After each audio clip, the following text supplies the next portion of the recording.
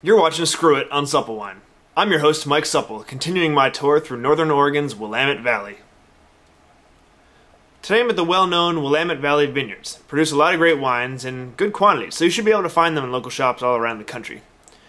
I asked their winery ambassador, Wendy Bennett, why Willamette Valley only uses natural cork as opposed to synthetic corks or screw caps, and she gave me the full breakdown about cork. Turns out it's much better for the environment than you might guess. We use all natural cork. This is something I'm incredibly passionate about and something a lot of people don't even know anything about cork.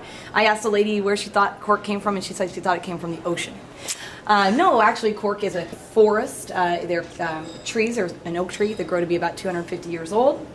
And these workers there, they farm them every nine years by peeling the bark off of it. And You can see there's an example of some bark here. They peel that bark right off and then they soak it and steam it and flatten it and it becomes a piece against the wall here. And they take that piece and they cut it out like the strip that's on that box there and cookie cut that out. And there's your cork.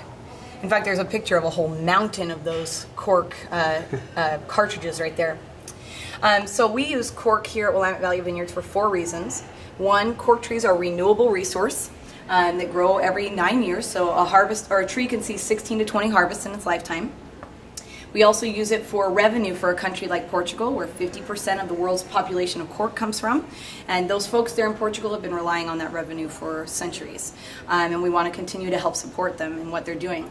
Um, and on top of that, the reason why we want to do that is for the third reason, environmentally. Cork trees are phenomenal. Those cork trees, there's 10 million of them, 10, sorry, 10 million acres of them. That's a lot different than 10 million trees. 10 million acres of them. And they absorb 4.6 million tons of carbon matter out of the air a year. And because of what they do, it makes them the second most important forest in the whole world alongside the Amazon rainforest. Um, on top of the fact that there's animals and, and, and birds and plant life that rely on that as their ecosystem too. But if we aren't helping uh, the revenue of Portugal, they're not going to be farming these trees and they're not going to be protecting those trees. So we, we have to be, you know, in order to tie it in with the environment, we need to be using natural cork. And the final reason why Willamette Valley Vineyards uses natural cork is it's a recyclable product. So when we're done with this product, we can turn it into something else.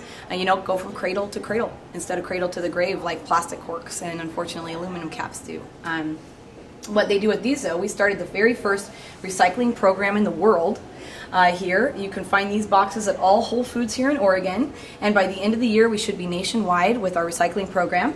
So you can actually turn these corks into something else instead of a, a trivet or, or instead of a landfill.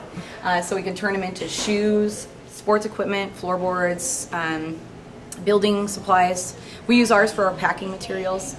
It's a really great product um, and well worth um, taking that second look at uh, as far as a consumer standpoint because that's really why there's the um, uh, you know why the cork forests are going extinct is because of the consumer. It has nothing to do with the environment. It has to do with us personally using cork.